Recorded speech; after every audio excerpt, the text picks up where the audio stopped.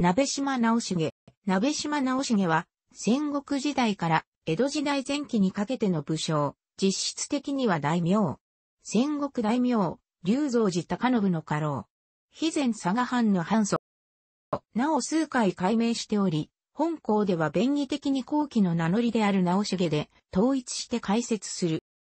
天文7年、1538年、肥前佐、加郡本庄村の在地豪族である、鍋島清房の次男として生まれる。天文10年、1541年、主君、龍造寺家県の命令により、小木郡の千葉種連、西千葉市の養子となる。しかし、天文14年、1545年に、小西によって、龍造寺家住らが殺され、家県が逃亡したことにより、龍造寺氏と小西が敵対関係になると、実父、清房は、直重の養子縁組を解消して実家に戻らせてる。内県の死後、数年を経て、龍造寺高信が、龍造寺氏を継ぎ、さらに高信の聖母である喜びにが父、清房の形質となったため、直重は、高信の重帝、直重の聖母と高信の父が兄弟。もしくは指定であると同時に義弟にもなり、高信から熱い信任を受けることとなる。龍造寺氏は、直重の働きなどもあって、宿敵の小児氏を、永禄2年、1559年には、滅亡に追いやっている。永禄12年、1569年、大友宗麟が進行してくると、高信に籠城を進言し、同時に、秋毛氏に、大友領への進行を要請した。元気元年、1570年の今山の戦いでは、家中が籠城に傾く中で野衆を進言し、野衆隊を指揮して、大友近貞を撃破する。以降、龍造寺家内での存在感を大いに増した。また、この勝利を記念して、鍋島家の家紋を、県花火師から大友家の行用へと変えた。天正3年、1575年、小児氏の残党をすべて滅ぼし、天正6年、1578年には、肥前南部の有馬市、大村白を屈服させるという功績を挙げた。そして、高信が隠居して、高信の着男、龍造寺聖火が家督を継ぐと、聖火の後見人を高信より任された。天正9年、1581年に高信と図り、島津氏と通報した筑後柳川城主の鎌地鎮さざ波を肥前に誘い出して中陸し、高信の命令で柳川城攻めをした田尻監守を特選、鎌地氏、下鎌地が滅んだ後に柳川城に入った。以後、主に筑後国の国政を担当する。もちろん直重の力への期待もあったが、おごった高信がたびたび還元を行う直重を疎んじるようになり、筑後に回したとも言われる。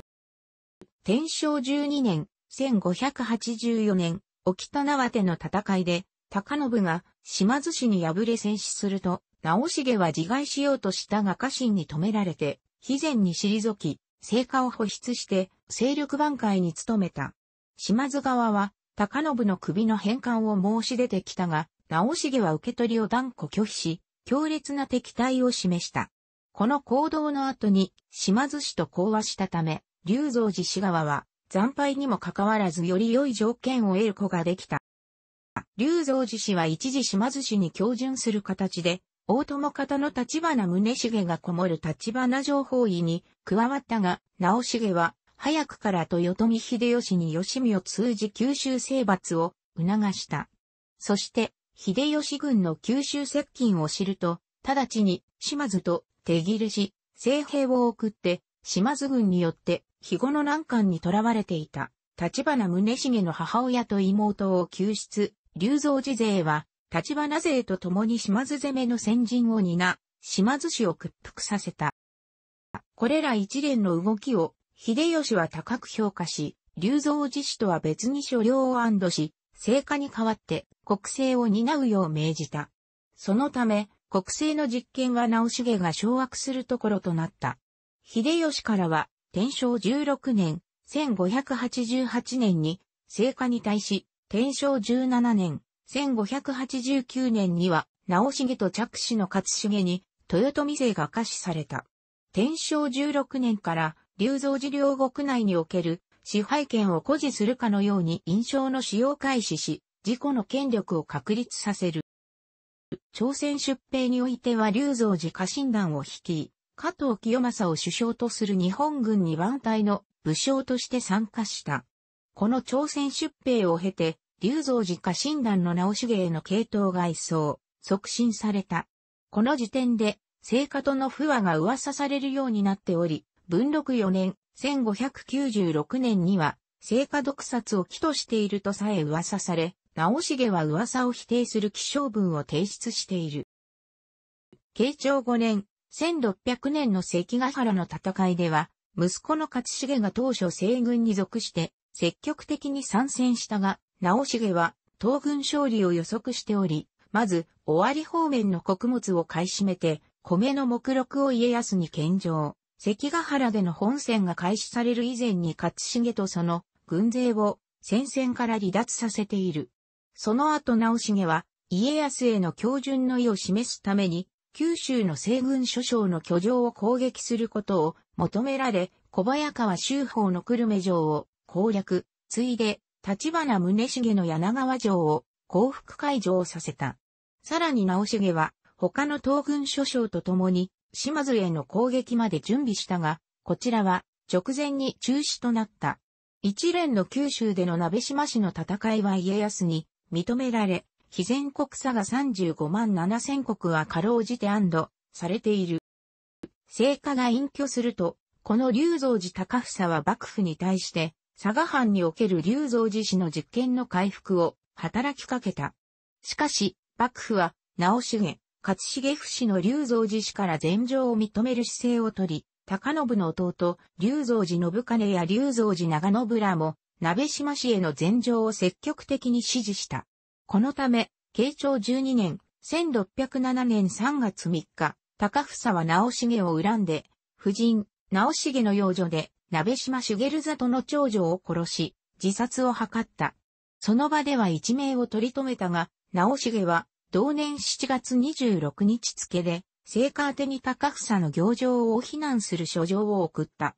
自分たちは、殿下、秀吉や大御所様、家康に国政を任されたが、竜造寺家に最大限敬意を払ってきたし、また待遇面でも不自由のないよう取り計らってきたのに、名字、家計を断絶させる真似、自殺未遂をしたのはなぜか。誰に対する当てつけなのか。高房が帰国後、我々、親子、直重、勝重に質問するなら、直接申し開きをするといった内容で、お恨み状と呼ばれる。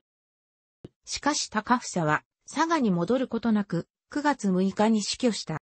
その後、直重は、龍造寺はじめ門へ敬意を表しながらも、その影響力を相対的に弱めた。勝重もその施策を継承し、自分の弟、忠重、長子、元重、伊尾、直澄に師範を立てさせて、本半島地を強固にし、龍造寺旧臣たちの恨みを抑え込んでいった。ただ、直重は、龍造寺氏、家中への遠慮があったためか、自らは、藩主の座につくことはなく、初代藩主は、勝重となった。そのため直重は、藩祖と称される。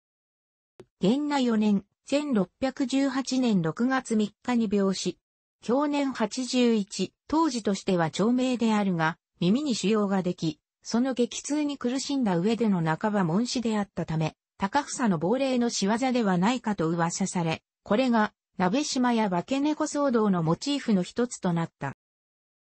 佐賀市高伝地蔵、成富駅宝筆、鍋島直重像、佐賀県立博物館に帰宅の石田一定による3には、15位鍋島家が守る藤原阿孫直重法意味な、美法、総里市大古寺父、駿河守る清房母、龍造寺文語の神や純着女なりとある。